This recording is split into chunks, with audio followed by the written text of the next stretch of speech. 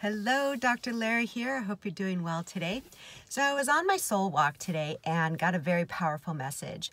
And the message is if you're on a certain path and you get steered on to go a different path, to allow it to be what it is.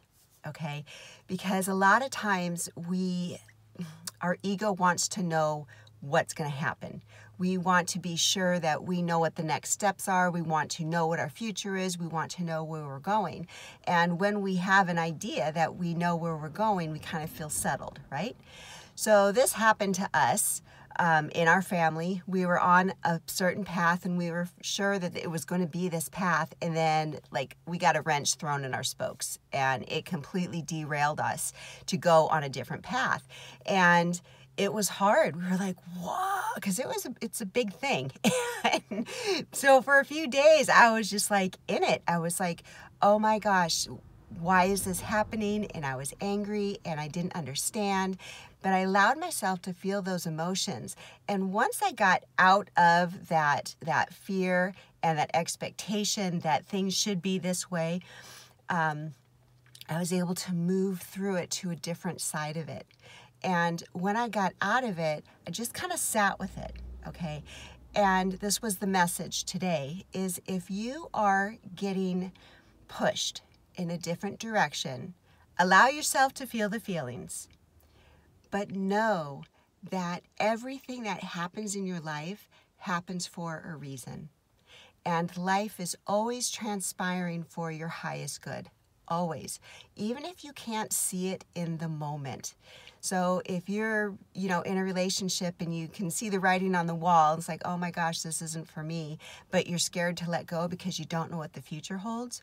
Or if you're in a job right now and you're just, your soul is just being sucked dry and you know that it's time to leave, but you don't know where to go.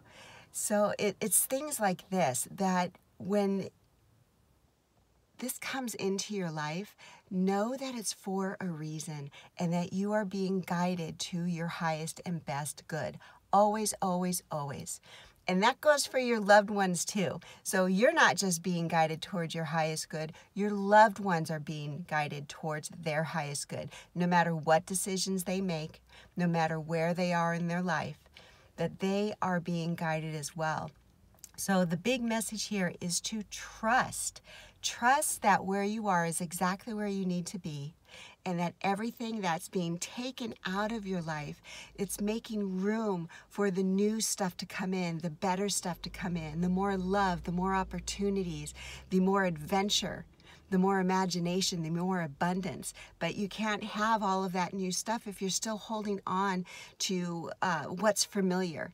And I think that's why we hold on to what's familiar because you know, that's where we feel safe. And it doesn't feel very safe to be in the unknown.